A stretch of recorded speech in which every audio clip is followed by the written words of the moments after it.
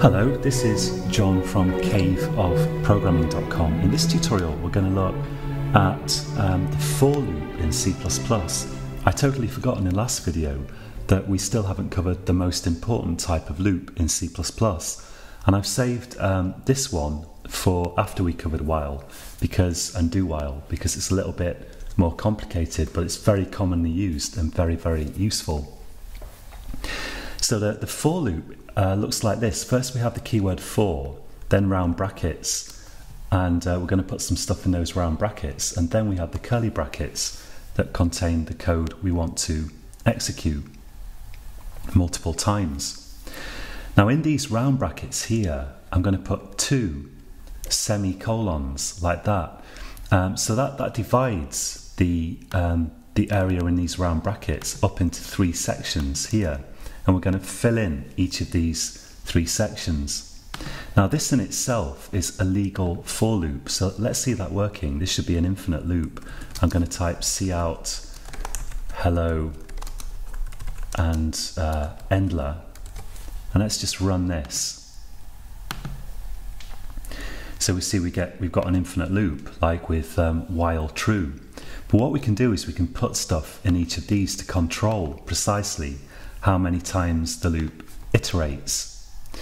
So um, I'll show you what, what we most commonly do with a for loop, although there are many possibilities here. So in this section here, in the first section, we're going to declare a variable that we're going to use as a loop counter. I'm going to say int i equals naught. So I've set it to naught to start with.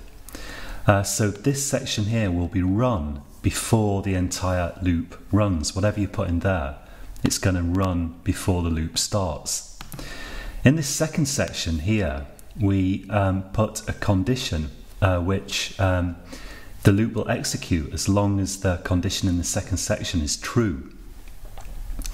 So this is where we put a condition that um, similar to what we had in the round brackets for the while loop or the do while loop.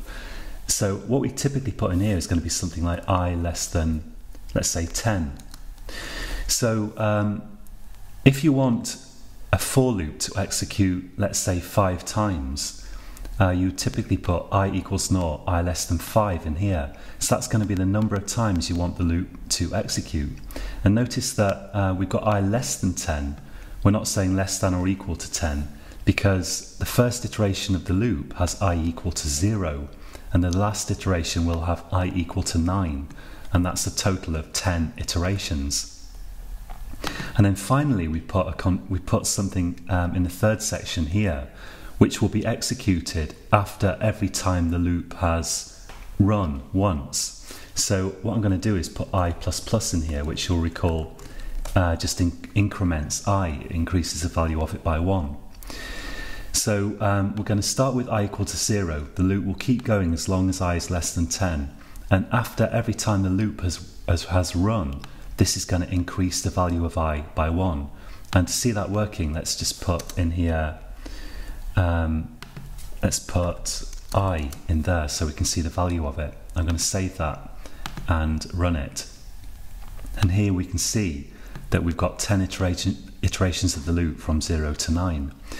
So you can miss out any of these sections or as we've seen all of them and you don't have to you don't have to follow um, this kind of stuff. You don't have to put this kind of stuff in there. You can get creative and put all kinds of things in these three different sections, but this is the most typical usage. You'll say something like for int i equals naught, i is less than 10 or whatever, i plus plus. And after you type this a few times, you just get into the swing of remembering these conditions. Uh, so although this looks quite complicated, it's, it's pretty simple really. And to practice this, um, I would advise that you certainly go away and type out a for loop and try to try to get to the point where you can type this whole thing without referring back to to this code. So try to get to the point where you can remember this and create loops that iterate a precise number of times that you've decided on and experiment with it a bit as well. See what happens if you miss out the different sections. Notice that um, I is um, usually, if, if we declare a, a variable like i within curly brackets, it's available within those curly brackets. But there are some situations where you can declare um, i in round brackets that precede the curly brackets. And then once again, i is now available within these brackets. So the scope of i, we say, the scope of this variable is these curly brackets. We can use i there, but we can't refer to i down here. If I say something like i equals uh, 5 or whatever, it's not going to let me do that. If I try to build this project, it's, it's not going to build. Um, so I have to save it first and project build. So we see that i is not available down here, but it is available within the curly brackets. So as always, don't forget to indent your code by one tab, an extra tab within these curly brackets.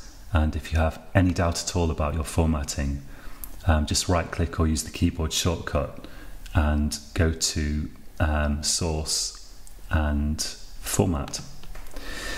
So that's it for this tutorial and until next time, happy coding.